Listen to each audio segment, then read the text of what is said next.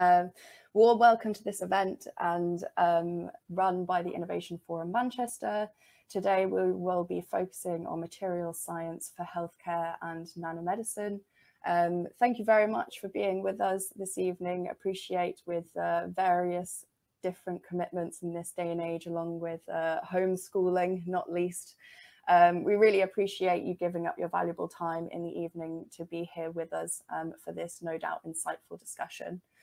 Um, as previously discussed, uh, this event is being run by Innovation Forum Manchester. We are a specific branch of the Innovation Forum, which is a global not-for-profit organisation promoting entrepreneurship in the life sciences. Um, I am really pleased to, to welcome you this evening to this online webinar. Um, it will run approximately for the next two to two and a half hours um, and via this new platform um, for us at least Hopin. Uh, this has been made possible uh, by and as always thanks to our generous sponsors Manchester Biogel and VRS Recruitment. Um, I'll run you through some, some features of the software and house rules in a minute. However, please first allow me to introduce our speakers via the agenda as we have some fantastic keynotes and founders delivering their views on this space uh, lined up for you all this evening. Uh, so first we have the welcome and introduction to the Innovation Forum delivered by myself, um, following an agenda of two keynote speakers originally, and then three um, founders pitches from prolific advanced materials startups across the Northwest, followed by a panel and Q&A, um, and then a speed networking session. Um, please note that in the original agenda, we did have Professor Paul Townsend speaking um, as our first keynote. However, very unfortunately, due to last minute circumstance, he won't be able to join us um, tonight. We will therefore be going um, straight to the keynote delivered by Professor Sarah Cartmell. Um, so we're actually using a different platform to Zoom tonight, as you're uh, no doubt already aware. I appreciate that some features are different and new for you all as well as us. Um, hopefully we um, or some of you will already have been able to participate in the speed networking function um, due to the time before the run up to the event. Um, however, for those of you who have just joined, I'd encourage you to briefly um, explore the features of the software itself. So for example, the expo section on the tab to the left contains booths from our sponsors. Please do have a look in this section to find out more about the organizations that we partner with um, and actually chat with our sponsors directly. We do have a representative of the Innovation Forum Manchester in there as well. Um, the speed networking function is also found to the left um, on the tab on the left-hand side of the screen, whereby you'll be matched at random with another attendee of the webinar with a total time of three minutes to introduce yourself. Um, if you want to follow up afterwards, please feel free to invite them to a private video chat. Um, we would encourage you to follow up on the most fruitful of these conversations um, and the reason why we have set this networking function to the speed setting um, is really to simulate the experience of a real event and increase exposure among the audience members to each other. So really hope you find that a useful feature.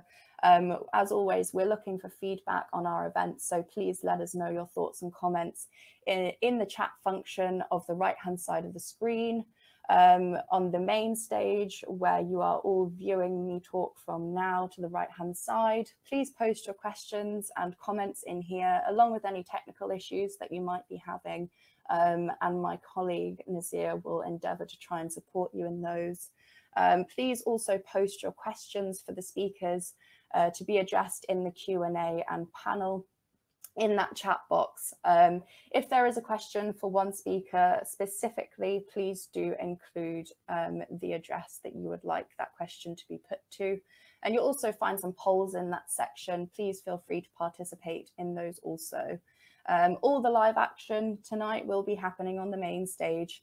For example, our keynote speeches and discussion panel, and we will be having a brief intermission between each speaker, so please don't be alarmed by that. Um, a bit about the Innovation Forum itself, for those of you um, who are attending an Innovation Forum run event for the first time, a very warm welcome. Fantastic to have you with us. Um, as I mentioned, we are a global not-for-profit organisation um, with the goal of promoting entrepreneurship in the life sciences. And we are truly global um, in the sense that we have over 20 strategic locations. Um, we've held over 200 events in the last seven, eight years that we've been in operation um, all over the world. And via our Imagine If program, which I'll speak to in a minute, we have evaluated and supported over 600 early stage biotech and healthcare focused startups who have gone on to raise over 100 million uh, private venture funding in those seven years, which is a metric that we are incredibly proud of. So speaking to the Manchester branch specifically, um, this is us. We are students, postdocs and professionals uh, mostly addressing issues in biotech and life sciences and based across, across the Northwest. Um, we're particularly passionate about entrepreneurship. Special credit uh, to Ruben, um, who has carefully curated this evening's event, and additionally to Nazir and Andrea. Andrea will be heading up the Innovation Forum booth in the Expo section, so please feel free to head over and have a chat with him directly um, if you want to know more about the Innovation Forum, specifically um, our activities in Manchester. So these are just a few of our generous sponsors. As I mentioned earlier, we do rely on sponsors for their kind support. Um, thanks again to our sponsors for this evening, Manchester Biogel and VRS Recruitment. In terms of an overview of Innovation Forum's activities, um, we really run a range of events from quite informal, casually focused initiatives, for example, Pitch in a Pub, um, through our pre-accelerator competition, which is our flagship initiative, to large-scale professionally focused events such as Health Horizons Future Healthcare Forum, which was our global conference in 2019, um, this year, obviously, the move to, to a virtual world has been difficult for us, given that uh, predominantly our events were in person pre coronavirus. However, we've managed to successfully ex execute over 23 webinars since April. Um, obviously, tying into that wider, wider narrative that Innovation Forum globally um, is a collaboration between branches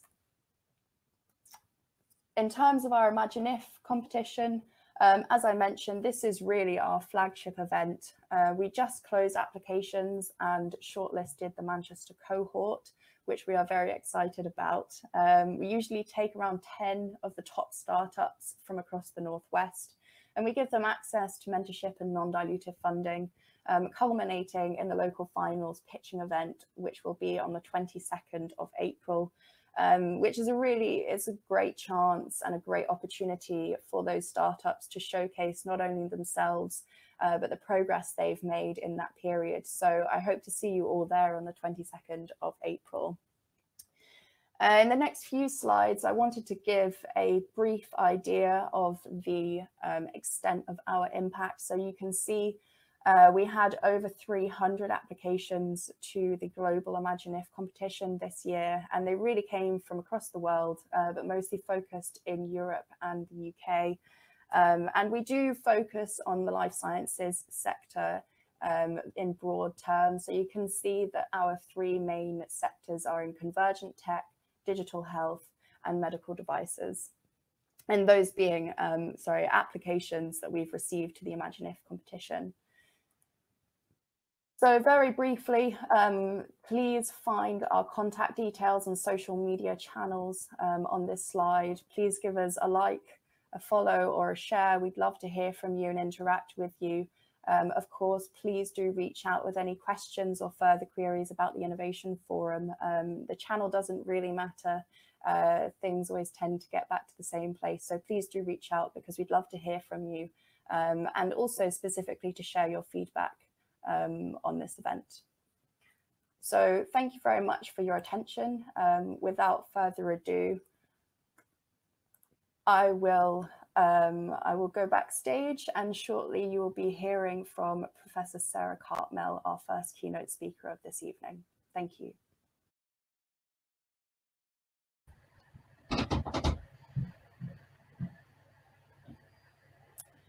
Good evening again, everyone. Um, I'm delighted to introduce our first keynote speaker of this evening's online webinar, Professor Sarah Cartmell, um, currently head of the Department of Materials, uh, which is home to nearly 2,000 students and staff.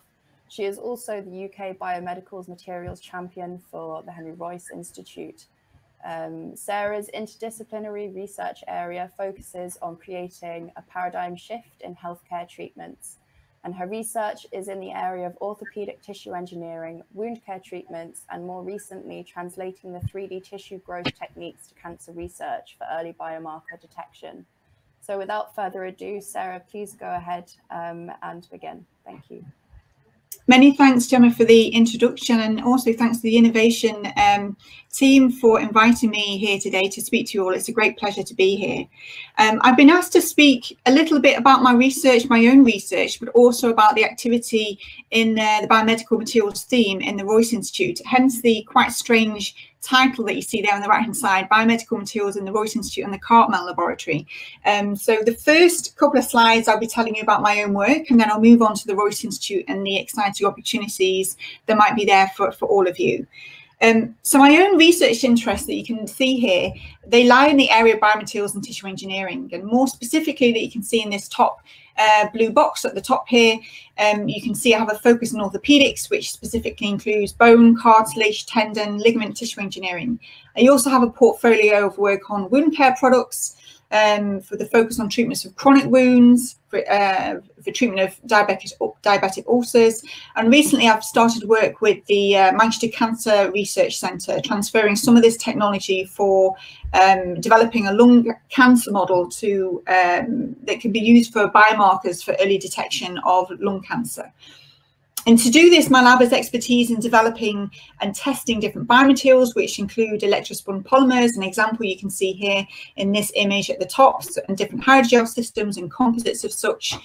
And we're also interested in different types of stimulus applied to those cells. So once those cells are seeded onto a scaffold and we create a, a 3D tissue, in order to influence the cell activity, we apply different types of stimulus. Um, and that activity could be proliferation, differentiation, or extracellular matrix production. And in my group, I specifically started working with mechanotransduction, so mechanical forces, and then more recently, over the last 10 years or so, electrical stimulation and how we can use different electrical regimes to, again, uh, alter proliferation, differentiation, and indeed extracellular matrix uh, production. Now, in order to apply these different stimuli and grow 3D tissues, one needs to control the environment. And in order to do this, I have a large body of research where we design different types of bioreactors. And here you can see an example of a schematic of a capacitive um, electrical stimulating bioreactor that we've designed and, um, and also a co-culture bioreactor you can see here, stainless steel um, chamber we can uh, re-autoclave and, and, reuse again and again for the growth of osteochondral tissue, so bone and cartilage tissue um, together. And then lastly, my lab is also interested in developing new methodologies to provide information about the tissues we're trying to create. So I've researched developing computed tomography imaging to either track live cells through scaffolds, for example, or indeed provide 3D high resolution structural information on um, soft tissues. The examples that you see here is uh, an anterior um, cruciate ligaments from uh, from a porcine model that we've imaged and we've been able to track different individual fascicles throughout that structure and we've been able to do that in an aqueous actually PBS phosphoric buffer saline environment and keep that wet. But you can see here we tracked individual fascicles all the way through um, either a static or a dynamic uh, loaded tissue so I just wanted to give uh, take the opportunity to give you an example of one piece of one type of medical product that we're translating um, through uh, my laboratory. And this is a tendon repair product. And you can see here there's a focus on hand tendon injury with over 30,000 um, hand tendons treated annually in the UK. You can see here with this bullet. Now, these are usually trauma cases that presented at accident and emergency, and uh, essentially what happens is the surgeon sutures these two uh, quite healthy uh, tendons otherwise, but they've, they've, had this acute trauma, um, and they present at the A&E, and the surgeon sutures them together using these different types of suture knots. So you can see here the Savage suture knots, this cartoon just shows a sort of cut tendon ends, um, the, the Kessler, for example. And the first three months, this 12 week rehabilitation, the first three months of repair is really important. And currently, a quarter of these repairs have a poor outcome, and 7% of these re-rupture. And obviously, there's associated um, economic uh, cost to that, but obviously, um, patient quality of health. So, what we've been doing in my laboratory is to develop a, uh, a product that actually augments the current suturing technique that offers a bridge to aid the healing tendon. And so this is just a couple of pictures and images to describe the, the product itself, which is a, a patented, it's got a worldwide patent right now, and it's electrospun polycaprolactone device. You can see that we have very small fibers that you can see here on the top left-hand side, where we, the, the cells can recognize as being similar to naturally occurring extracellular matrix morphology. And then we can twist these fibers and create this yarn, and essentially we can then knit that yarn and create this device and this device is then inserted, you can see here, into the tendon. So this is our normal kind of, this is an example of a, a Kessler knot, uh, the knots inside here. This is the full suture. This is our tendon itself. And we use this hollow bore needle that you can see here, and we introduce our product, the device here, into the center of the tendon, and then it sits just in between very easily. We take out that needle, and then essentially we have lots of data showing um, in different uh, animal models and in vitro models not only safety but also efficacy of the product. And you can see here uh, just the cartoon demonstrating without the device where we have a tendon re-rupturing and with the device which has added this biomimicry where we can actually have a bridge where the cells can can migrate across and lay down um, extracellular matrix and have this um, earlier wound healing but also a more functional wound healing outcome. So the product degrades with 50% remaining after about 12 months.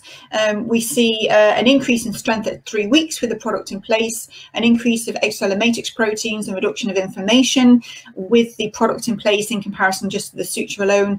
And we're currently at the stage of moving this product to clinical trial and are liaising heads of terms with licensing the technology with a company. So I don't have long to talk to you. So that's uh, this is the only kind of information I want to tell you about my own research. The, the rest of the talk, I wanted to take you through um, what we're doing with the Sir Henry Royce Institute. And for those of you that haven't heard about it, the Henry Royce Institute is a new UK institute for advanced materials. Um, it's administered through the University of Manchester, where I'm based, but it involves uh, several different partners. And our overall purpose, you can see here in the top left-hand side, is to establish and develop and capitalise on the UK's world-leading excellence in advanced materials research that already exists, but also move that further forward and be internationally leading in the area. And our overall vision is to be a world-leading institute, identifying challenges and stimulating innovation in advanced materials research to support and sustain growth and development. You can see on the right hand side here, there are kind of five different areas and challenges that we're looking at. So obviously there's low carbon power, which is a common theme globally, infrastructure and mobility, digital communications, circular economy, and the last one, which is really the, the challenge where my research fits into mostly is health and well-being. Now, of course, biomedical materials is not, and, and indeed uh, clinical challenges doesn't only fit into health and well-being. There are other health and well-being concerns such as uh, water treatment, healthy um, sanitation, that sort of thing that advanced materials for sustainable society and the indeed the institute can um, uh, help with the institute itself adds is, is essentially a single front door for users. So um, any uh, UK and indeed international partners, but mainly um, we've been working with partners within the UK um, researchers that are academic, but also industry, um, small to medium enterprises, but also large corporations are welcome to come and uh, use the facilities that we have within the uh, Henry Royce Institute. So we have this single front door ethos. You come in the front door and we can guide you to the expertise that's needed. You come with your query and um, the, uh, the problem that you need solving, the challenge that you have. As I mentioned before in this section B, we're the University of Manchester, we're the Royce Hub. So we have a physical building that's just got up and actually just opened. The Biomaterials Labs have just opened this January 2021. Uh, and we're doing the research physically in that building now, but we have lots of other partners. That is the, the Royce, Sheffield, Imperial, Leeds, Cambridge, NNL, Liverpool, Atomic Energy Authority and Oxford are the main partners.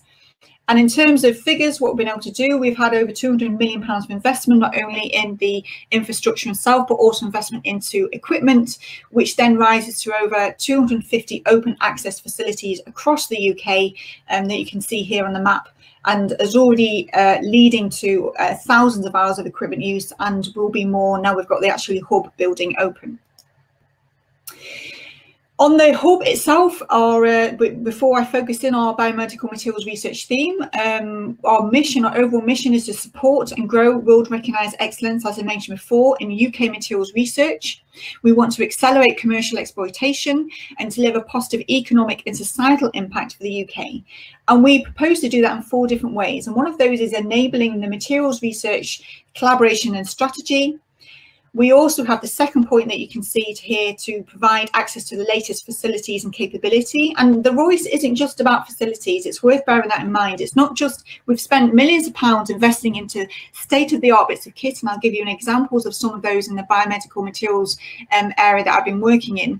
Um, but it's not just about actually the kit and equipment access. It's actually about enabling this this collaboration and the strategy that you see in one uh, point one, but also in points three and four, where we have we want to uh, catalyze this industrial collaboration. It's not just about academics, it's about translating and having the impact um, of uh, materials actually seeing um, and, and, accelerating that all the way through and exploiting uh, the materials research that's going on in the UK.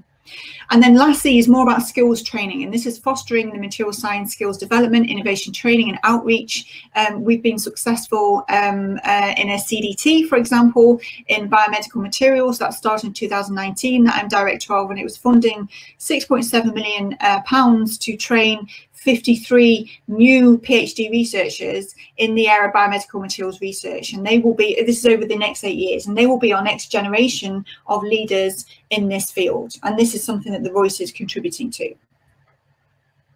So the theme that I'm uh, been uh, involved with leading, and, and Johnny Blaker at Manchester has uh, taken over a lot of this over the last um, uh, few months. Our overall vision, we, we developed a, um, uh, a roadmap, uh, a landscape um, exercise with the UK community. So we developed this vision, which I'll, go through shortly, with um, around about 200 different stakeholders within the UK, um, probably about 18 months, uh, uh, two years ago. And we asked the big question, you know, what what's the big science what would make a difference and the overall theme that came back with resonating through is that we really need acceleration of the work that we're doing so rather than just focus on just fiber tech or additive manufacture it's not just about that it's about accelerating all the innovation that we've got. I think in the UK we have some great ideas, but it's about making sure that the UK is translating those ideas. And we identified some of those um, uh, bottlenecks in terms of um, the uh, in order to accelerate that translation in some of the equipment. So we spent over about 10 million pounds worth of equipment um, over the last uh, couple of years in biomedical materials manufacturing and testing characterization. And we really wanted to focus on the acceleration and discovery and manufacture of these biomedical materials in order to do that. So not only acceleration, and that means improving our throughput in manufacture, in, uh, improving our ability to characterize and test at higher throughputs, but also increasing our reproducibility. So even if you have that at speed, you need to make sure that it's reproducible. And so if you're manufacturing 100 um, objects, you need to make sure that 100 objects are useful and you're not having wastage and throwing 50 of those away. So it's that reproducibility we wanted to um, make sure we're addressing as well. But we do have specific target areas. So we did have additive manufacture, even though it's been around for uh, a, uh, a, few years now, isn't going away anywhere. And it's very, very important that we still invest in this area. And it's a growing area still uh, globally. And definitely we want to be in that uh, strong position in the UK. Um, so we had investment into different additive manufacturing pieces of kit. We also had a focus on fibrous technologies. An example of that is just, just what I showed with some of my research. You know, we are technically, you know, most of our tissues are, are, fibrous tissues. And so fibrous scaffolds really are key in terms of addressing the tissue needs. And so, you know, whether or not that's a wound care product or whether or not that's a tissue engineering scaffold or new biomaterial that's going to be implanted, you know, the fibrous scaffolds is something that's that's growing as an area isn't going away as well. The point three that you can see here is bioelectronic systems, and this is an area in the UK very it's very fast moving, and we have some uh, a great deal of investment in terms of bioelectronics and and what we can um, deliver and what we can assess, um, and again what we how we can characterize and test new bio, bioelectronic uh, devices. We also um, wanted to be able to, uh, as I said, um, have uh, faster um, testing bits of kits, and I'll give you an example uh, with the biomechanical suite um, shortly with, with how we've addressed that. And we also, the key things we were coming, coming up um, from our uh, landscape was minimally invasive tissue repair. So most of our uh, clinicians, and we are very clinically led, um, tend to uh, are moving towards minimally invasive surgery. So any new products we're developing, really, we have to move away from the open surgery technique and move towards invasive surgery delivery. So we need to be thinking about how we can do that. And then the last one there is smart materials, remote sensoring and monitoring and e-health is, is again a very growing area. So these are the key um, parts of the landscape that we're um, working towards.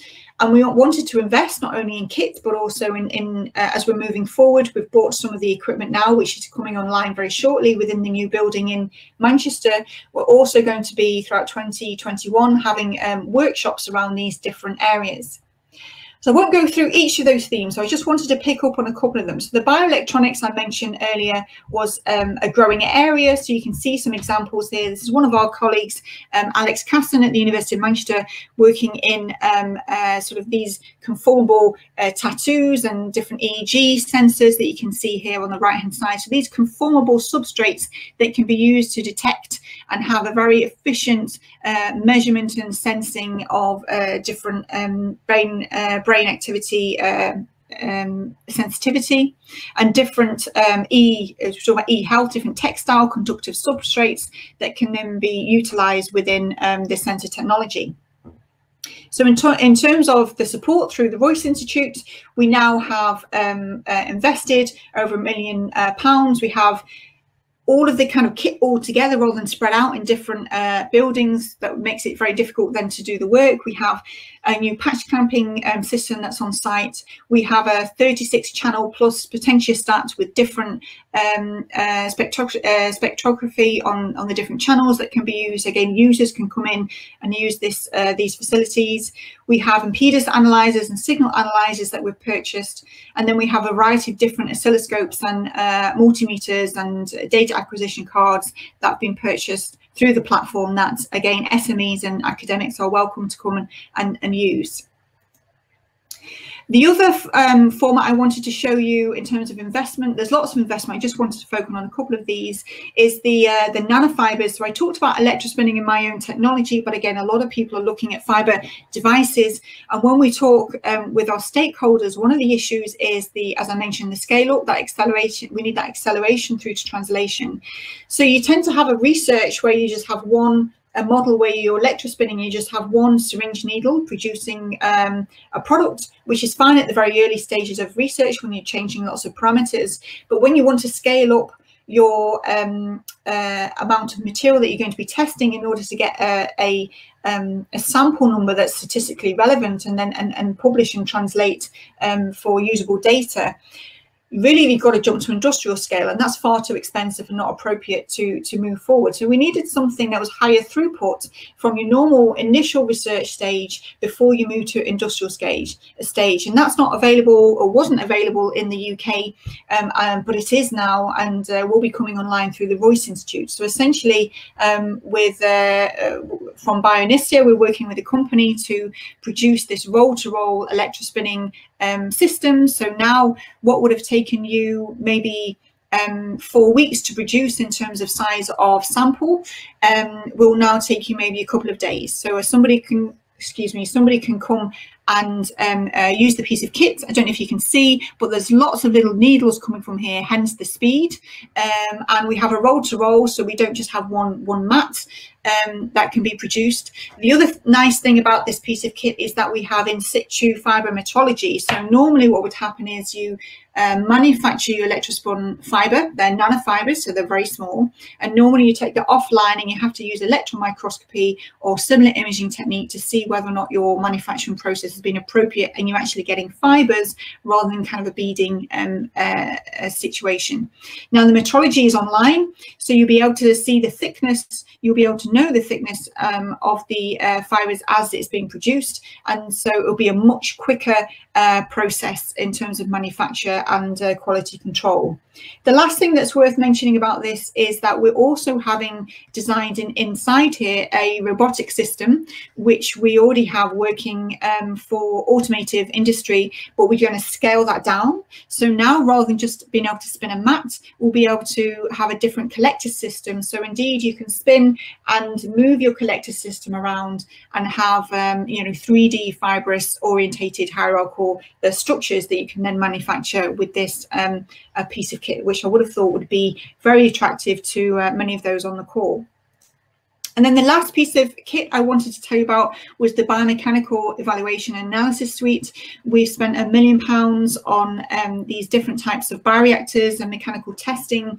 So we have two, for example, we have two of these four chamber um, uh, test instruments where we have lots of different tensile grips or compression grips for all different tissue types, whether or not it's a blood vessel or piece of cartilage or a ligament that you're wanting to grow in um, culture medium. And obviously all of that sits inside an incubator. But rather than just having one sample, we have load cells, we have eight different load cells and two other piece of instruments so you can have n equals 10 samples all running at the same time rather than um, waiting having to repeat that you know 10 times and that would take 10 times as long. So again please do come and, and have a look um, once you're able to to get to Manchester and have the lab. Um, if you want to have a browse on the equipment catalogue, please do go to the uh, the web um, site. You can see just on the left hand side there. You can do it. You can do a search on the equipment itself on theme. But if you want to have a look across themes, so many of the other themes have um, useful kit that you might want to use to analyze or manufacture as well. You could look in the categories, you could look at design, make, modeling, sample prep, and you can do a selection that way and search just in case there's a bit of kit you haven't even known about that we've been able to purchase and support through the Royce that will be now available to you. As I mentioned, we have the Royce Hub, but we have many other partners. So some of these kits you can see might be, if you're based in London, might be more applicable to go to, such as Imperial, Leeds, Liverpool, as an example. So then uh, just lastly, I wanted to tell you about um, obviously the training. So I mentioned before, we're not just facilities, we do have other resources. Obviously, we have academic resources across all the different partners in, uh, in the um, uh, the partners within the Royce um, that I'd mentioned earlier. But we also have a lot of training. So we have student equipment access scheme. Um, so if you're a PhD in uh, another university, that's whether they're a partner or not, you, you're able to access the Royce. So please do uh, follow the link that I've shown you on the on the slide here, the student access.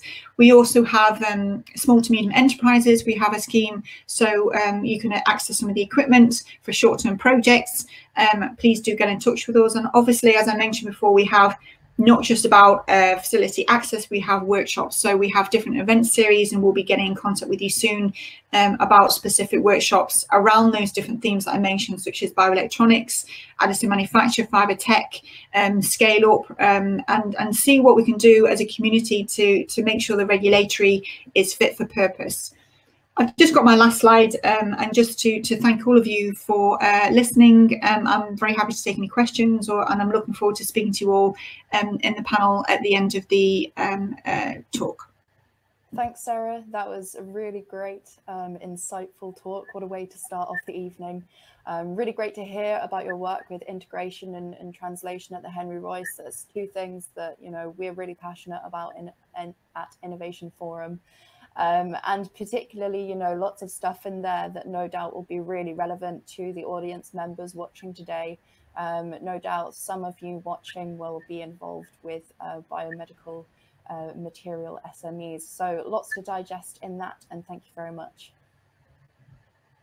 Hi, everyone. Um, delighted to announce the first of our three startup founder talks. Um, the first being by Professor Aline Miller, CEO and founding director at Manchester Biogel. Uh, Aline is a senior manager and strategic leader with over 20 years of experience leading commercial and academic R&D teams in the biomaterials sector. And she has a very strong track record of both raising funds and translating academic research into the commercial and clinical setting. So Aline, please go ahead um, and thank you in advance. Thank you very much uh, for the kind introduction and uh, invitation to talk to everybody today. So a bit of a disclosure, as you can see from my slides. Um, I'm still Professor uh, of uh, Biomolecular Engineering in Manchester University, and uh, I'm CEO of our startup company, uh, Manchester Biogel, which I'll tell you a little bit about today. So I'm more than happy um, in the panel discussion at the end to talk about a bit more about our journey. Um, and this is uh, lockdown uh, uh, uh interruptions. Um, but I want to can tell you a little bit more about our journey, some of the things that we think we did well, some of the things where uh, we didn't do so well, and some of the lessons that we've learned along the way. And we've done that by uh, making mistakes. So it's always good learning opportunity. But what I wanted to do today is just tell you a little bit about Manchester Biogel, who we are and, and what we do. So we are a materials-based company. Um, we make, manufacture and sell peptide hydrogels, and those are used by our customers for 2D, 3D cell culture, and also as bioinks for uh, 3D bioprinting. So it's a little bit about the follow-on from the fibrous structure uh, materials that uh, Sarah was talking about earlier. So as a company, uh, we were established in uh, early 2014 and we are based at the ex AstraZeneca site, uh, Alderley Park. Uh, this is us uh, in here now. Um, we recently moved into uh, bigger labs. Um, uh, we moved from the cupboard that we were in when we originally started, um, but we got uh, some new funding and that allowed us to expand both our team and also our facilities. Um, we have nine full-time staff now. Uh, pretty much all scientists, but our last hire uh, was a marketing person. So we're starting to expand and diversify the team, which is really exciting. Um, as you'll have realised, the research originated in Manchester. It, uh, it's a culmination of probably about 16, 18 years worth of research that myself and uh, my co-founder uh, developed over that time in Manchester. And I'll tell you a little bit about that later on. The nice thing about the company is that we do lots of collaborations, um, and that's one thing that I really pushed as uh, uh, the company to do, um, and that's helping uh, product development and helping exemplify the use of our materials as well. So we've got at the moment 11 PhD case awards um, across the UK from uh, Glasgow, Manchester, uh, Bath, UCL, uh, Liverpool, and also Dublin. Um, and we've got a couple of Innovate grants. We've got one uh, KTP with Imperial College, and we've got a small sustainability uh, award uh, with two other companies, which is actually really exciting, and that's it's focused on product development. We've also got a couple of other smaller uh, collaborative grants as well. So that's kind of who we are. Uh, what is the challenge area that we are focusing on? So with businesses, as you as you as you'll know, it's not about sort of the fancy science that you can do. It's actually about the solution to the problems that people are having. So what problems are people having? I thought it would be useful just to try to highlight this to set our materials and our products into context. So as Sarah was talking about, biomaterials, uh, 2D, 3D cell culture, the current market leader uh, in this area as a scaffold for 3D cell culture is Matrigel. It's a tumour uh, that's put inside uh, mice. The tumour is grown, the mice are then sacrificed, uh, the tumour extracted, decellularized and sold as Matrigel. Um, so it takes three mice uh, to, to make every 10 mils uh, roughly of product. And to meet today's current market demand, uh, which is about 70% of the market share, worth about 530 million, um, you, you, need about 3 million mice uh, to make Matrigel. So it's not a, a, an ethical product. But actually, because it's also animal derived, it's got huge batch to batch variability. Um, so uh, you, you, can't control um, the, the, the, properties of the material or the chemical content of the material. It's got a whole soup of growth factors in there that actually you don't, people don't know exactly what's in there. So when you do cell culture, you don't know exactly uh, why you're getting the responses you are for the cell behavior. So animal derived, you can't be used, can't translate it into the clinic because it's an animal product. Huge batch to batch variability, don't know the composition. It's also not tunable, so you can't change uh, anything about it in terms of the mechanical strength or the functionality. It's also a bit of a faff, uh, it's a very technical term, uh, to use um, because you've got to keep it on ice, bring it up to room temperature uh, uh and back and forth. Um, we also looked at uh, the community, so um, trying to understand the issues that uh, people were having. So 90% of the R&D community that do this type of work um, are not satisfied uh, with Matrigel, even though they're currently using it. And this is a quote that came back to us uh, from somebody, uh, a professor at Imperial College, they said, everyone uses Matrigel, everyone hates it.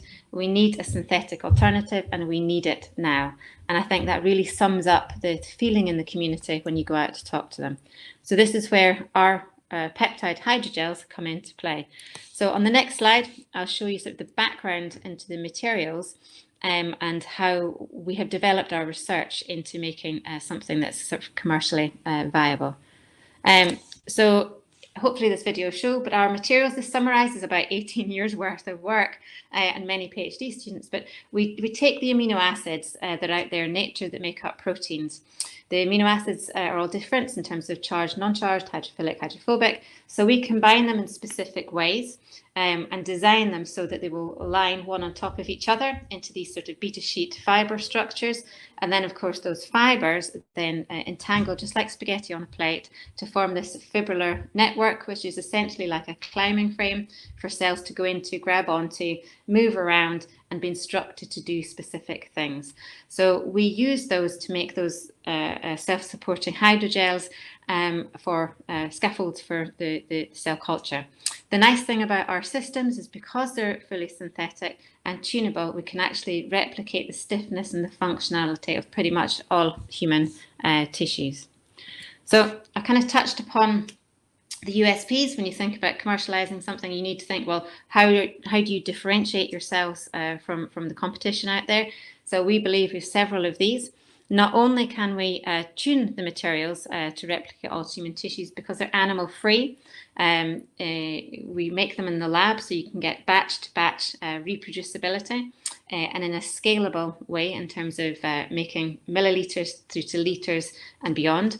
So we can get reproducible materials and that allows people to get reproducible and reliable results. So we're solving that problem for them with our materials.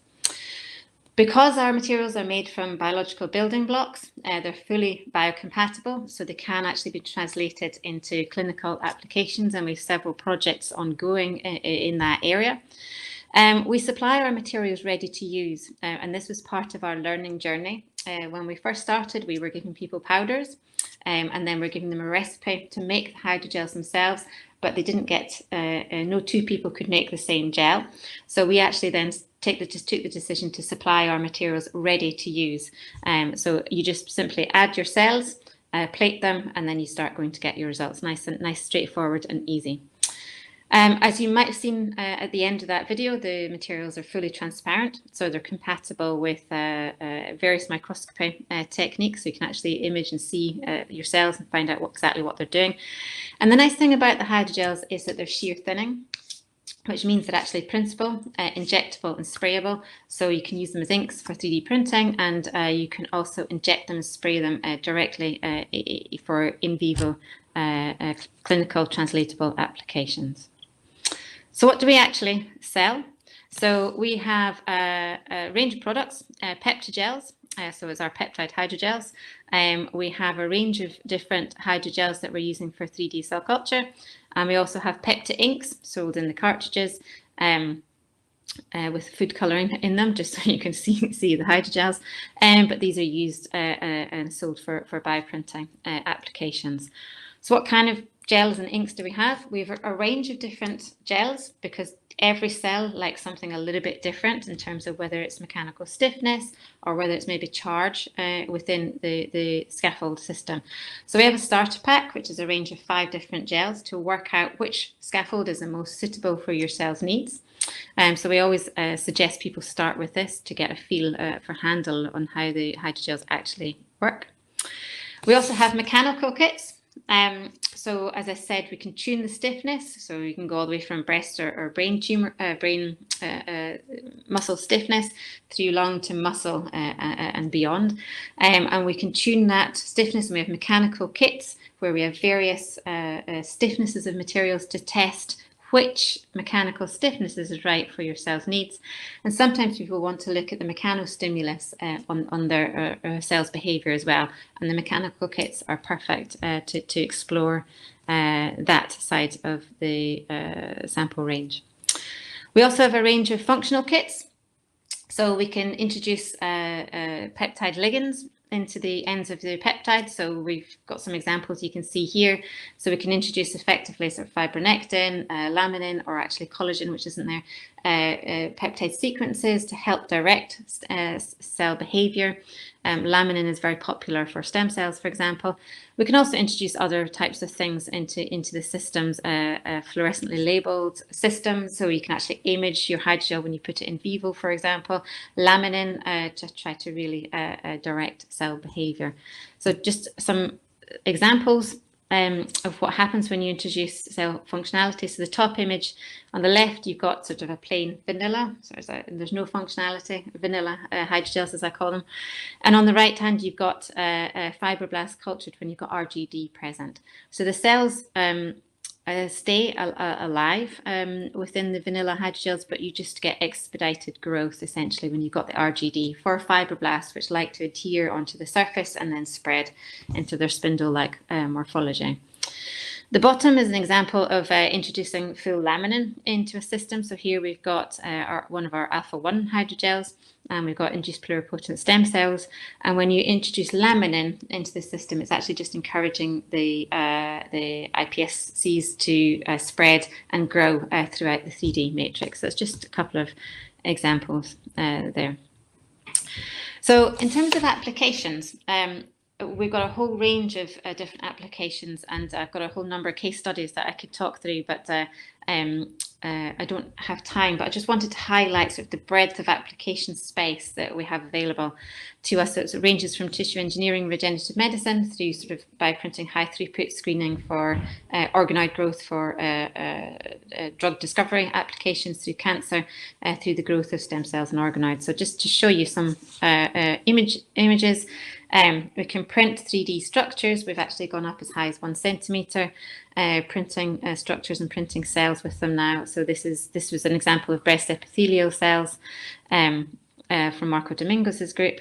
And here uh, we're looking at using different robotic techniques. This is a Formulatrix uh, printing high throughput system where we can get micro droplets down to one microliter uh, um, printed reproducibly, and this is aiming then for high throughput type applications. Looking towards cancer, uh, so this is an example uh, that has come from uh, Imperial College, uh, where we've looked at independently varying the stiffness of the hydrogel and the pH and uh, they tell us that ours is one of the few materials, or the only material actually, where you can independently vary each of those parameters. And of course, by varying the stiffness and the pH, then you'll be able to mimic healthy tissue versus uh, uh, uh tumor tissue, but tumor tissue at different stages of the disease as well. So you can actually look at the impact of the surrounding tissue, the hydrogel, has on the development and the progression of the of the of the tumor. Um, and what they're looking at is actually the cell biological pathways and they're identifying different proteins that are being expressed due to the influence of the surroundings. And of course, that's key because that's the mechanism that the therapeutics and the chemotherapy agents, uh, uh, drugs actually work uh, and are targeting different cell biological pathways. So they're finding that it changes uh, depending on the age of the tumor. And of course, then that tells you at which stage which therapy is going to be appropriate and why. And that's going to come out hopefully um, what's been submitted to nature. Let's let, let's see what happens in that space. Um, it's also used for stem cells and organoid growth, and these are some examples here. So in the top, we've got some kidney organoids grown within alpha-4, and here we've got some liver organoids, and that's just showing that you're expressing um, the right markers uh, to get the right phenotype behavior uh, of, uh, of, your organoid uh, uh, systems here, and then those are going to be used uh, for drug discovery applications. Um, tissue engineering, this is an example from Manchester from Julie Gough's group, and this is looking at co-culture, where we've got fibroblasts in 3D and epithelial cells on the top layer, um, and you can see that the cells are, are, are behaving nicely and they're putting down the matrix and they're forming a nice epithelial layer, and that's looking at tissue generation for the treatment of Barrett's esophagus um, which is your inside uh, of your throat. Um, and then uh, another example is wound healing. So this is looking at uh, uh, wound repair. So here we've got keratinocytes uh, in the hydrogels.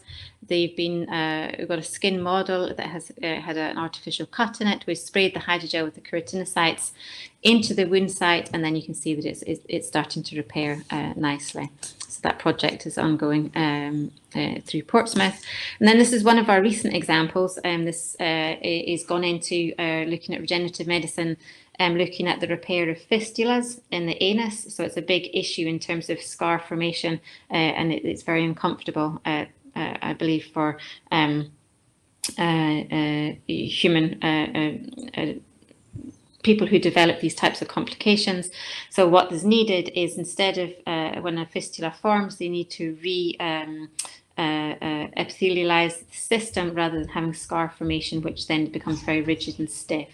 So what we've done here, this, this studies where uh, we've taken the hydrogel, we've uh, uh, worked with Coryllium, uh, based in company, who've got their own stem cell lineages, um, so we've incorporated th their stem cells and they've been injected into pigs. It's maybe not the best picture actually, um, but it's been injected into pigs in January and uh, we'll find out the results of those studies uh, in mid-April when uh, the pigs are sacrificed and we actually have a look to see how the fistulas have repaired in, in comparison to the controls. So it's a really just a quick snapshot with a few images thrown at a slide, but it just I wanted to give you an idea of the breadth uh, of the types of applications that you can use um, with the hydrogels. And we're always looking for new application areas, new collaborations, um, and new directions uh, of study, as well as progressing uh, current ones. So really, I just wanted to give you the idea that uh, the hydrogels are, are a versatile platform um, that open the door for a variety of 3D cell culture uh, systems, um, either in vitro in the plate, either high throughput or, or uh, 3D bioprinting. And with that, I want to just finish. Uh, happy to answer questions about the company, our journey. Uh, as I said at the beginning, and please uh, give us a follow on social media um, to say hi and to keep up to date um, with uh, news and, and, exciting things from our, our site. And thank you very much for listening, and I look forward to talking to you later. Thanks, Aline. Uh, that was fantastic. Um, please do post your comments for Aline and all of our speakers in the chat bar um, to the right of the main stage. Uh, fantastic talk. Thank you so much. Um, certainly, there seems to be a massive uh, validated unmet need. Three million mice for such a small amount of product seems completely crazy. Um, and I do love the term vanilla hydrogel. I'll be using that in the future. Uh, that's great. Thank you. That's all for our first um, startup founder pitch. Here we are now with uh, not uh, the least, but the last of our keynote um, startup founder talks delivered by Dr. Chris Bullock, a longtime friend of the Innovation Forum, actually, uh, but more importantly, CEO and co-founder at QV Bioelectronics, um, Chris has a PhD in regenerative medicine from the University of Manchester, uh, focusing around the development of novel graphene bioelectronic devices and the use of electrical stimuli to control cell behavior. He now acts as the managing director of QV Bioelectronics and oversees the business and technical development aims of the company. So Chris, please go ahead um, and keep me updated and I will change the presentation when you ask. Thanks, Gemma. Uh, slide, please. Uh, so I'd like to start with a question. If you or a loved one was going to die, how would you measure the value of the remaining time that you had left together? Sadly, in oncology, this is a very real and challenging question, and one that is faced by many families uh, every day. Slide, please. And this is especially true in the case of the most common uh, brain tumor, glioblastoma, which sadly has no cure. And even with the uh, highly intensive current treatment process, which consists of surgical removal of the tumor, followed by chemotherapy and radiotherapy, patient survival is limited to just over a year on average after their first diagnosis. And the reason for this is the surgery uh, unavoidably leaves behind residual cancer cells in the surrounding brain tissue uh, that are resistant to chemotherapy and radiotherapy. And over time, those residual cells uh, aggressively form new tumours that sadly lead to the death of the patient. Slide, please. Fortunately, there are new electrotherapy approaches of treating these cancer cells. Um, and this is a technique that is now on the market with approval by the FDA, EMA, and other major regulatory agencies. Um, and what it involves is applying electric fields at specific frequencies to the residual cancer cells. And these interfere with cancer cell division, slowing tumor growth and prolonging patient survival. The there is a, a, device already on the market that uh, uses this mechanism, and it's been able to demonstrate approximately a 50% survival benefit, which is an enormous step forwards in a cancer that the last you know major breakthroughs were 20 years ago. Slide, please. But what one thing that's come out of that that clinical data is it's very clear that this is a technique that requires constant dosing. So there, there doesn't seem to be a, a particularly long lasting effect of the electrotherapy. And what that means is that the longer each day patients are undergoing electrotherapy, the more effective their treatment is. And what you find is the existing technology, patients are recommended to use it for 18 hours a day, but fewer fewer than 10% of patients actually achieve that that figure. And that has a, a very real impact on how effective their treatment is. Slide, please. But when you see what patients have to go through every single day, it's it's no surprise really. Um, the the cumbersome external design of this device has an enormous impact on patient quality of life, and it's very understandable as to why people are not uh, using this all day every day, uh, particularly in the later phases of their life when other things might be more important to them. Slide, please. Having said that, the, the company behind that technology called uh, Novocure have been enormously successful. Uh, their market cap on, on NASDAQ is, is currently in excess of 17 billion US, uh, and they're making just just uh, short of 500 million dollars a year in revenues, and that's from treating actually a very small percentage of patients.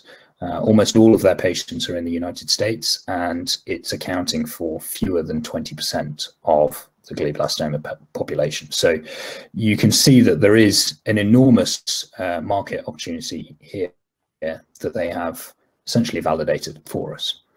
Um, and there's a clear need for better technology that doesn't force this disconnect between uh, patient quality of life and the efficacy of their, their treatment.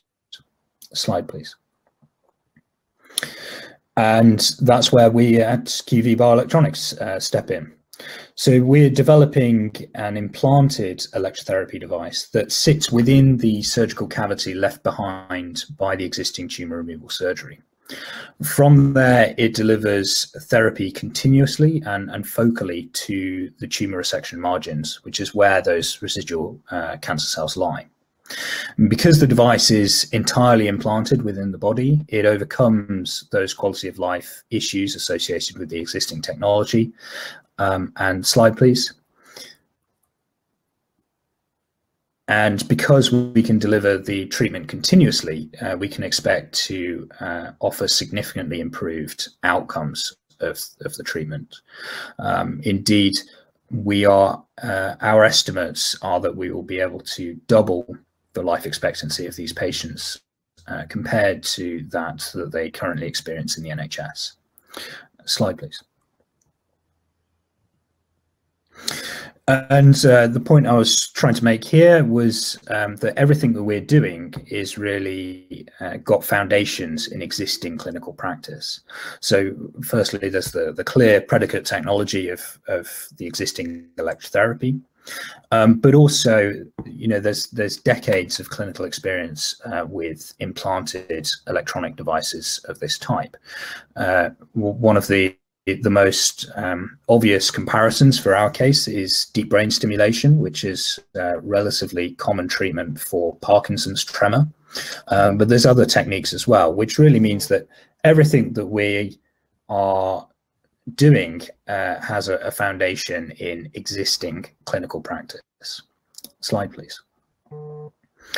And we, we've touched briefly on uh, regulation uh, earlier uh, today, and and indeed one of the one of the, the comments I saw in the in the, the title page for, for this event was around the regulatory barriers for uh, advanced materials. Um, it probably won't surprise you to find out that uh, long-term implantation of, of medical devices into the brain is is meeting almost stereotypically the, the highest uh, regulatory burden for, for medical devices. We're a, a class three device. Um, and that means that there's very stringent regulation that we have to follow in the design and development of this technology, and quite rightly so, to be honest. Uh, slide, please. And here I, I, just wanted to give you a flavor of, of where we are in our journey. So um, we're just in the process now of completing a £750,000 uh, seed raise. Um, and that's really going to uh, take us through to the end of next year uh, and allow us to run a test in a large animal. Um, and we'll then be looking for for more money uh, to go out and run a first in man clinical trial, uh, which we have scheduled uh, for 2024. Uh, I think um, part of, of the message that I wanted to, to give convey from this slide um, for anyone in the audience who is thinking about going out and doing similar things is firstly the, the timescales. You know, company is is two years old and uh, we've got a, a 10 year window on that basis for us to to get on the market and really start to be able to sell our devices. But that is par for the course for uh, implanted medical devices and uh, where a lot of the advanced biomaterials uh, clinically uh, will be used. Um, and the other thing is is the sums of money involved. Um, you can see the very large amount of investment that we, we need to raise to to make it all the way through those clinical uh, clinical trials. It's a, a very expensive process, um, but it's not impossible. And you can see, firstly, from the, the case of Novocure that I, I kind of mentioned earlier, but some of the other uh, companies on the, the slides there, that um, you know investors are willing to to back these kind of companies because uh, the commercial opportunity uh, can be very big as well. Um, so, in our in our case, uh, for glioblastoma alone, um, we think it's uh, an over three billion pound uh, market for for the top ten uh, territories around the world. Uh, slide, please. And I, I, just wanted to finish off by, by talking uh, a little bit about how biomaterials fit into that that process, because ultimately that's that's why we're here today. Um, so firstly, in our case, we have to form a, a tight electrical contact with uh, the interior walls of this, this surgical cavity um, to deliver stimulation in, in three dimensions. And that in itself is a challenge because these are not even geometries. Um, patients have tumors in, in different locations of the brain and, and they're different sizes from, from patient to patient. Um, and the surgeons won't know the exact dimensions of that cavity until they've actually been in and removed the tumor. So what we have is, is technology that allows our device to rapidly conform within the operating theatre to fit each individual patient and allow that process to take place. There's also a need for no adverse biological reactions in, in either the, the, the, short term or, or the very long term uh, for our device. Um, and we also need the, the implant. Essentially, it's going to be life sustaining to be functional throughout the lifetime of the patient. And the hope is that for some patients, you know, we might be talking about in excess of 10 years uh, in this case. And uh, from a material science uh, challenge, that that is uh, another challenging area um, as I'm, I'm, sure Sarah would also have some experience when you're applying uh, an electric field to biomaterials, you can greatly accelerate some of the uh, degradation processes that can take place. And a, and a, final point is the, the need for MRI compatibility. Um, and you know, MRI compatibility can kind of take two forms. Uh, if you were using a, a ferrous metal, um, say a certain types of stainless steel, um, and you you implant that into a patient and they have an MRI scan, then you can essentially superheat their implant, burn them very badly, and potentially pull it around with the magnets as well. So clearly that's something we need to avoid. But there's also kind of a, a second level of compatibility, which is uh, to do with interfering with imaging.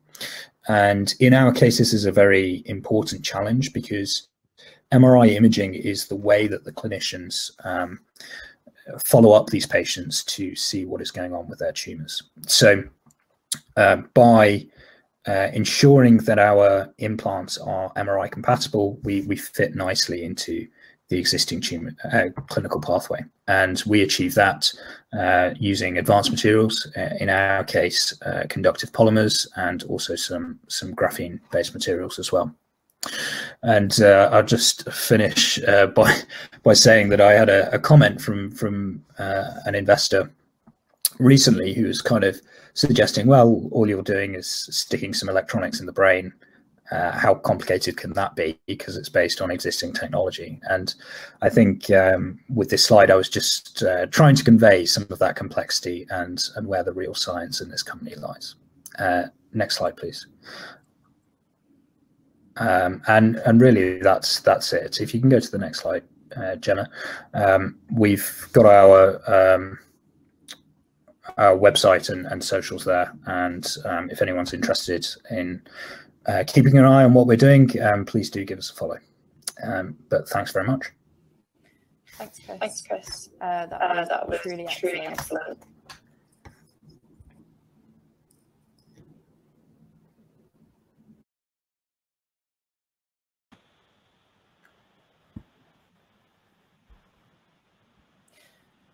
Good evening, everyone. Um, thank you for staying with us and sticking it out until the end.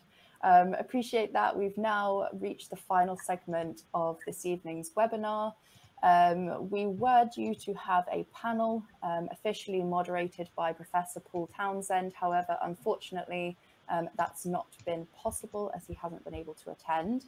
Therefore, we'll be moving to more of a Q&A style um, panel discussion whereby I will be reading um, your most burning questions from the chat uh, to our speakers today. Please feel free to continue to add questions into that chat box. I'll pick them up um, as and when I can and address um, address the speakers with them.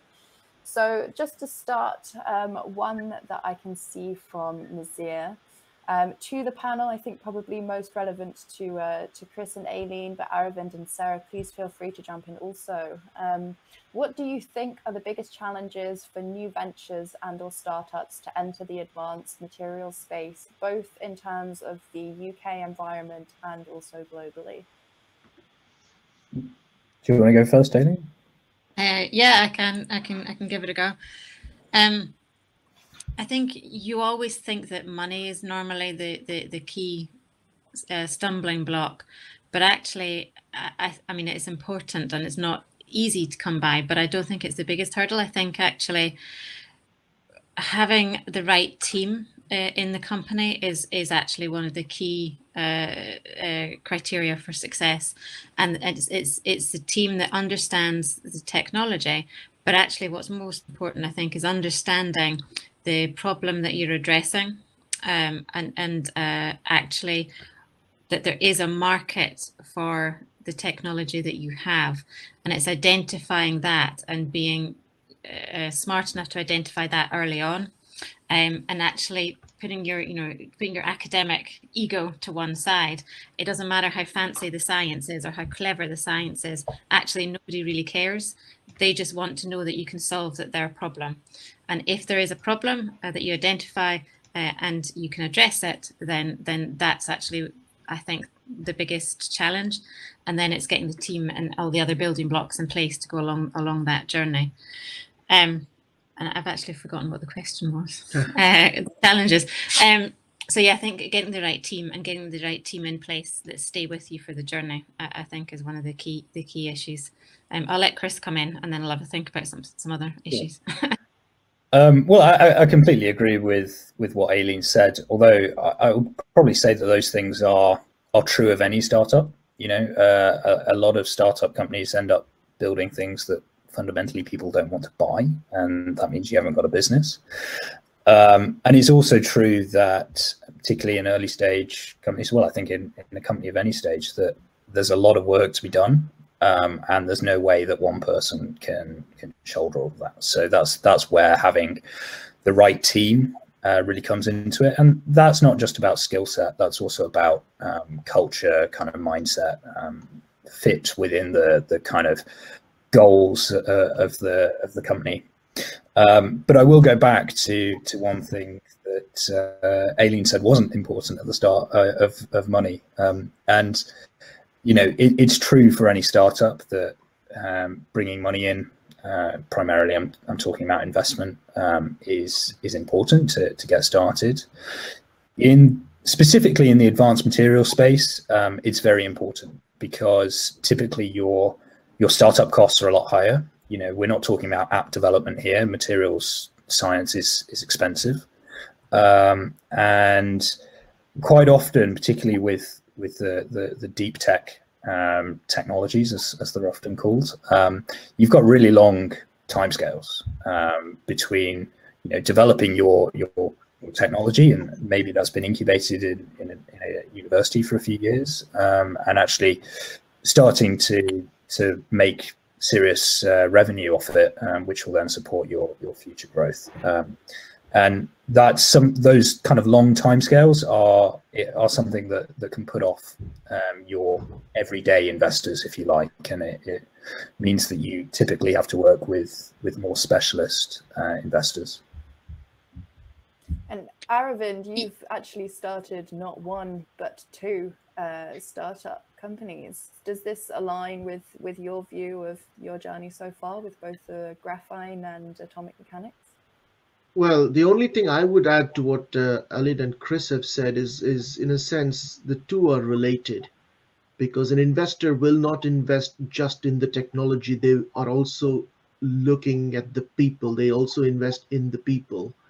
So for example, with my, with, with atomic mechanics, if I had decided to start atomic mechanics without uh, the people like Chris and Daniel who actually did the work in my lab, it wouldn't have gotten anywhere because the investors are not just looking for how good is the technology, but they want to know if the people who have come up with it, the real brains behind it, the students who've been in the lab day in and day out developing this are on board. So I think having the right people is also key to being able to attract investment. So you need to get both of those ducks in a row. Yeah, just just just to add to that, I think um, one of the investors said to me just a couple of weeks ago, uh, as we were thinking about going for Series A funding in about 12, 18 months' time, is technology, team, and traction, uh, the three T's. So, thinking along that theme of um, innovative technologies and um, entrepreneurship, broadly to the panel, um, and I would particularly bring in Sarah to answer this question also, what are the really exciting frontiers in biomaterials, advanced materials, um, and this sector? You know, what are the most exciting novel technologies hitting this space right now? Well, I, I, think we've seen some excellent examples of them today, to be honest. Like, you know, we, we did, uh, as I mentioned, the, the landscaping document within the uh, Royce and, and bioelectronics is, is one of the key fast growing areas. And you can see the, the changes in technology, um, you know, month to month, really, in, in terms of the publications that's coming out, the research that's, that's being performed. So it's, this is a, a really fast growing area. Most of us are aware of additive manufacture, for example, already. Uh, like I said before, it's, that's not going away and it's important, but I think it's it's how we can use that existing technology into into new innovations and, and translating that through. Any thoughts from the rest of the panel? Obviously, Chris, Aline, and, and Aravind, you all have a vested interest to say one thing. Yeah, I completely uh, agree with Sarah. Bioelectronics are the future. Everyone should be uh, should be uh, putting their money in. Um, I, I, I, mean, the way I'd look at it is, you know, real advancement uh, in any form of technology is typically limited or, or allowed to progress by the hardware available, and and that's really where material science comes in. Um, so you know, it, it, we're talking about healthcare tonight, but this is equally uh, applicable to something like computing, where you know we're reaching the the limit of what of how small a, a microchip can be, and therefore how how much kind of processor speed you can get into a certain area, um, and really there needs to be a, a step change in in how the architecture works in in kind of quantum computing to allow that next next phase of development. And I, I think in in kind of the last, I'm going to say about ten years, we're we're starting to see um, a bit more of that that kind of mindset change in in biomaterials. Um, you know, I think about ten years ago, a lot of the focus was was really on, you know, if you want to, I, I work on implantables, so I have a, a certain perspective on this, but uh, if you want to implant a, a, medical device in the body, then you're you're aiming for something that's completely passive, that you know isn't going to cause a, reaction, uh, um, and and and therefore will be safe. But actually, true functionality and, and improving outcomes and performance of technologies is, is actually more about uh, uh, having an active uh, interface with the body and and that enabling some sort of you know two-way feedback between your your implant and, and the body that then enables the the additional functionality. And i think that kind of mindset driven by by lots of things you know developments in in nanotechnology in um, in biochemistry you know under, understanding how how the the cells and the body responds to uh, to um, to materials, um, and of course, you know, we've heard a few examples about um, tissue engineering and, and, regenerative medicine tonight as well, which is really underpinned by the, the developments in, in stem cell biology. Um, but, but, that's really where uh, I see that kind of similar step change in in biomaterials uh, taking place at the moment. Well, my uh, work is probably a bit easier on this front than what the other three of you are doing because I'm not trying to stick anything into anybody, which makes life a lot easier. Uh, but yes, I think bioelectronics, this this interface between uh, multifunctional electronics and the human body. The human body is is one big electronic system, right? You've got all the components from sensors to the central processing unit and and the cooling system. It, it's basically one gigantic computer a controlled robot is what it is. So when you're trying to interface that with with your man-made electronics and that's really advanced materials is is what that's all about. It's that it's that interface at least for me that that's the really exciting part. Whether it is uh, you know uh, the sort of stuff that I was talking about today or whether it's biomedical assays uh, and things like that as well I, I, think it's it's really really exciting. The bioelectronics is uh, there's a huge future in that whether whether or not it's going inside the body i think it's really interesting. Mm-hmm.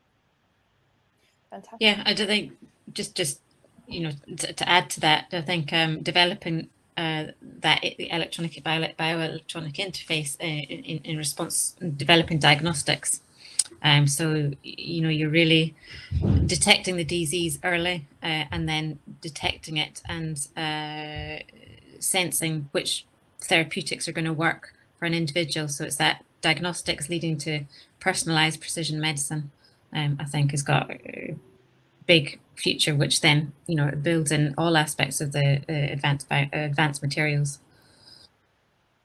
So we've spoken a little about some of the frontiers in the space and the really exciting areas of innovation. Um, but what about you know the really painful bottlenecks in the industry? Chris spoke a bit about the regulatory aspect of his journey so far.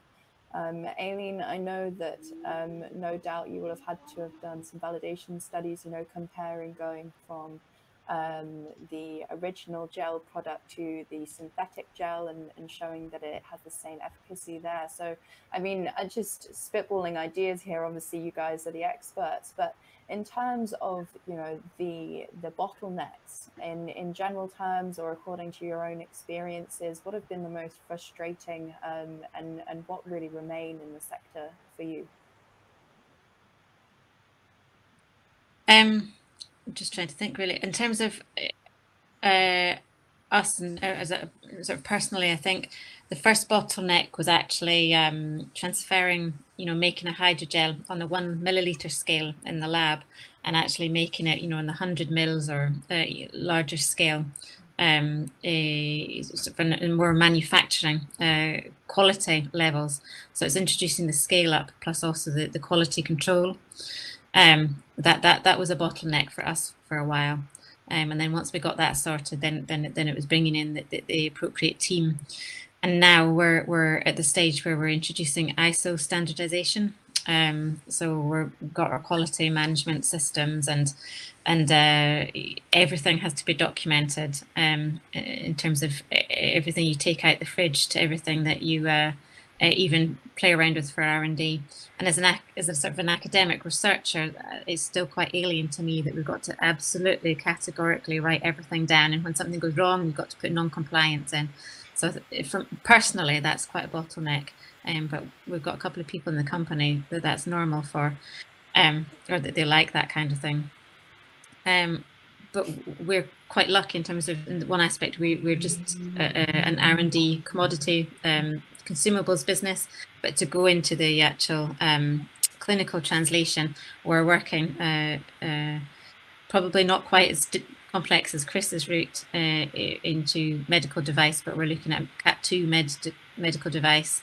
So we're working towards ISO 13485, then get CE mark or the equivalent of whatever it's what's going to be after the Brexit um, uh, negotiations come in. So for us, scale up and then actually building the right team.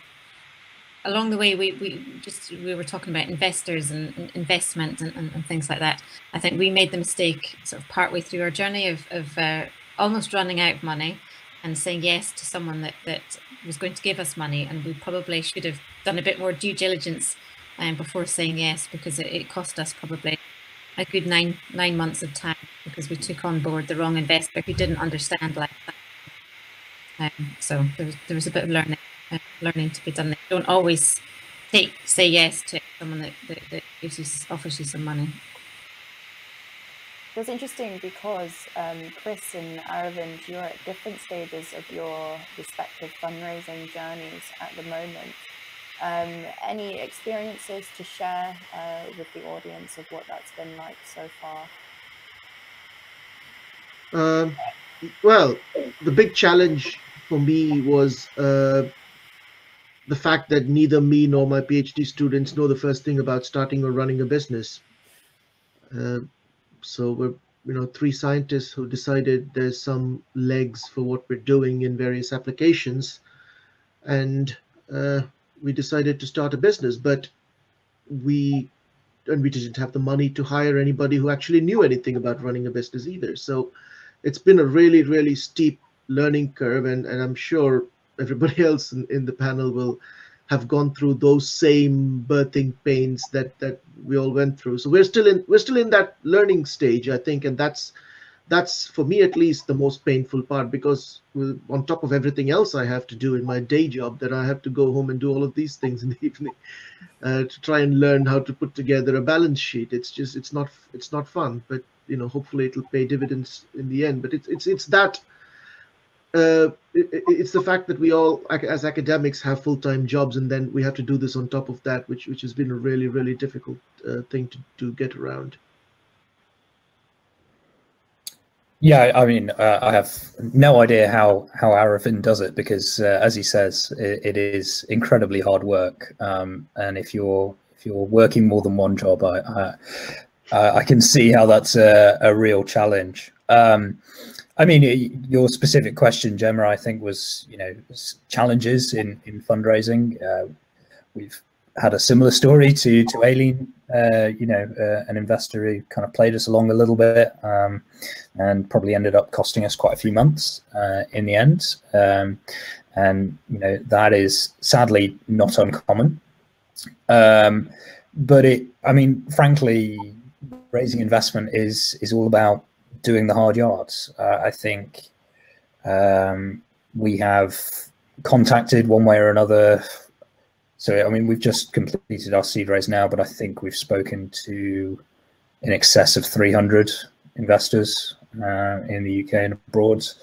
Um, and you know, each one of those is is essentially a learning experience. You know, they'll they'll find something um, something wrong with the plan, and you, you've then got to go and, and fix it, change the way you're presenting things, and, and so on. So um, it's it's kind of an iterative uh, learning process, um, but eventually you you start to to get the right answers.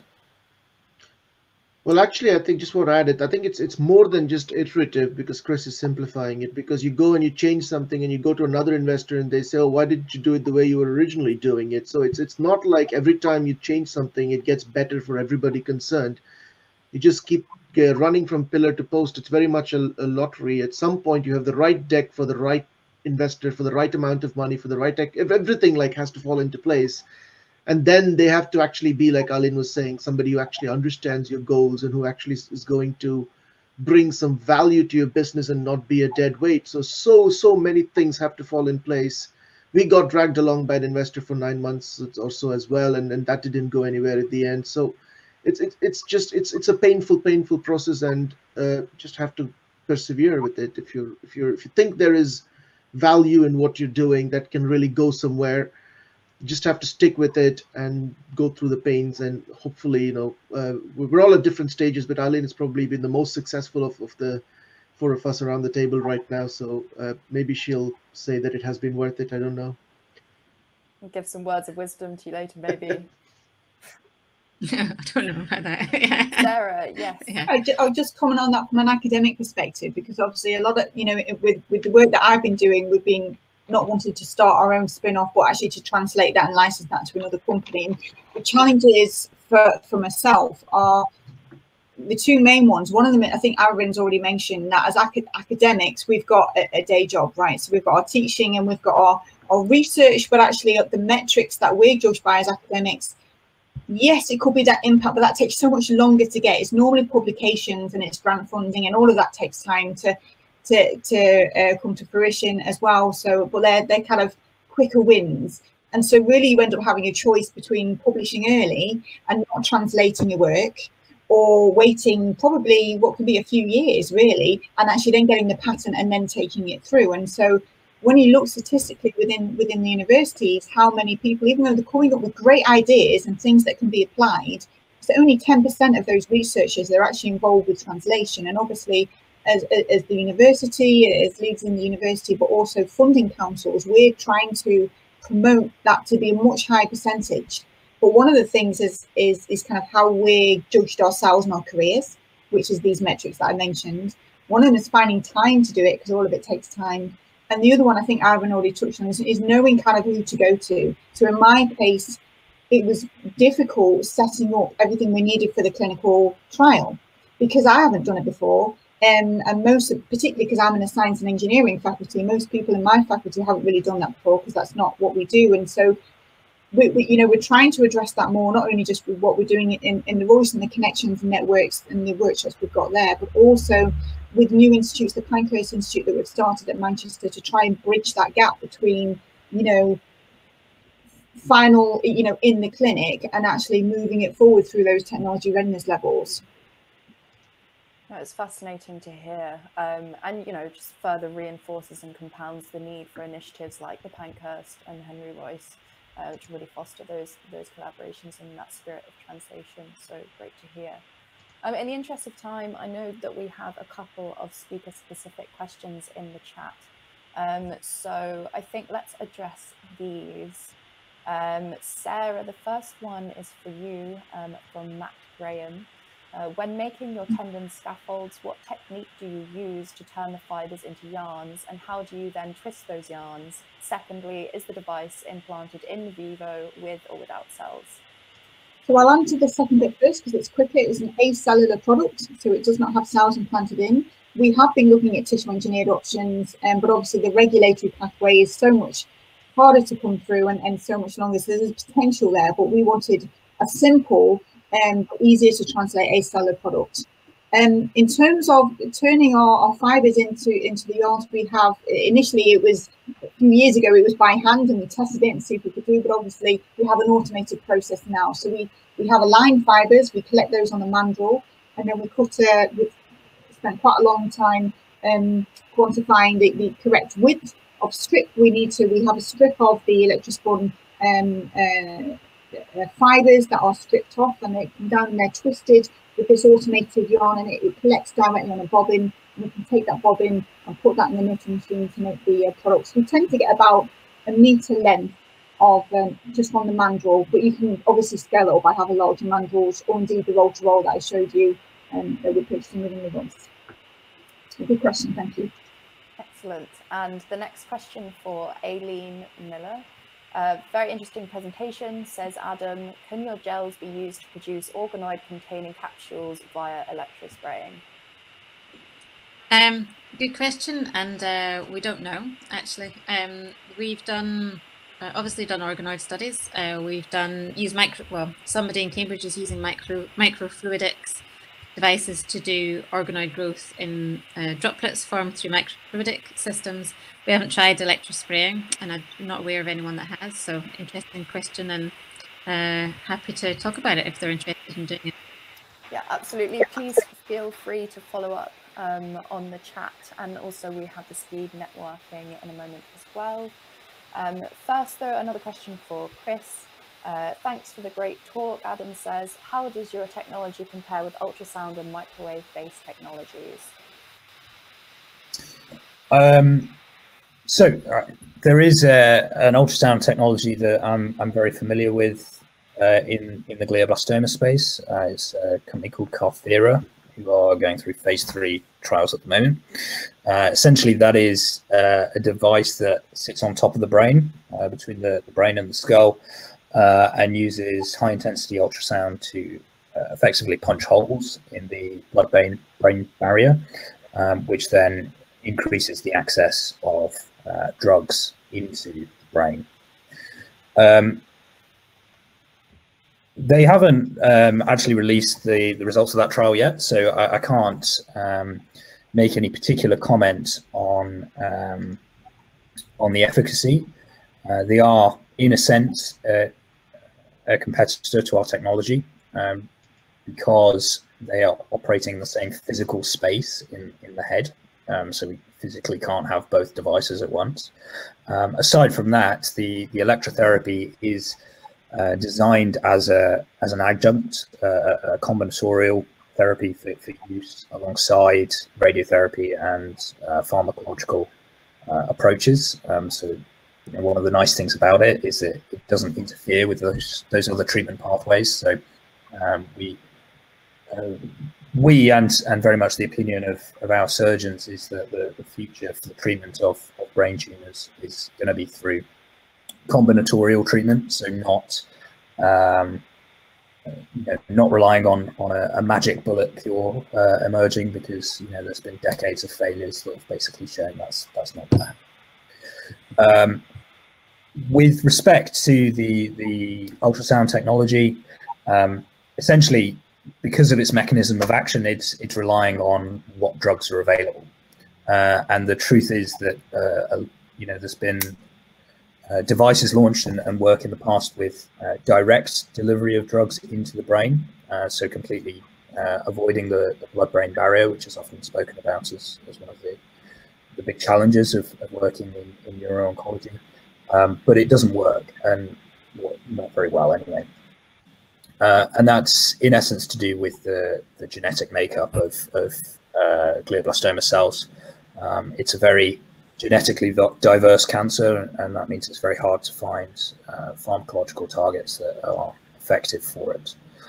Um, you also mentioned microwave technology. I've got to plead ignorance on this one. Um, I'm not aware of of a, a microwave uh, device. But there's, I mean, cancer is a huge research space, and there's there's lots of emerging technology all the time. So there, there probably is something I'm just not aware of.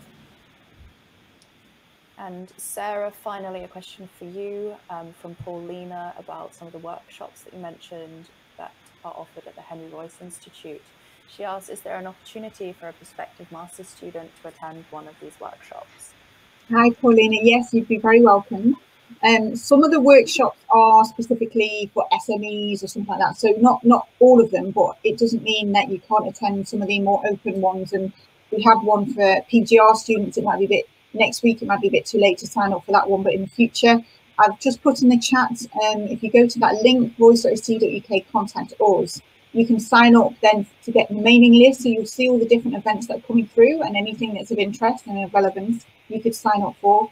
Um, you should have my contact details as well. If not, um, uh, just probably let you know, I could um, go to Gemma or, or, or Ruben and they could put us in contact. You can speak to me and I'll uh, let you know particularly about biomedical things if it's not automatically coming through. But yeah, you're very welcome. Yeah, we definitely happy to to arrange that. Um, you know, depending on the consent of, of the speakers. So that concludes our panel and Q&A session for today.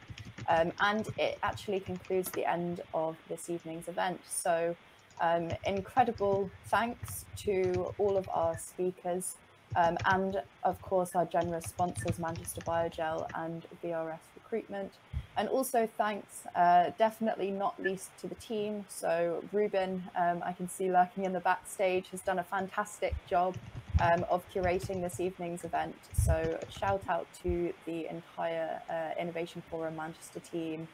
Um, uh, please now do make your way to the speed networking section of the event. You'll see it on the left hand side of your screen. As I mentioned earlier, you'll be matched at random um, with other attendees of the event, and this is to try and simulate um, what a in-person networking experience would be like. So please do check that out. Um, we'll all be around on the chat function for the duration of the event um, for the next 10, 15 minutes. Please do chat with us, ask questions. Um, of course, follow us and Innovation Forum along with our sponsors and speakers organisations on social media channels. I'm sure they'd be happy to answer your questions. Um, and also please stay tuned for our Imagine If local finals event on the 22nd of April. Um, look forward to seeing you all again soon. Thank you very much and good night.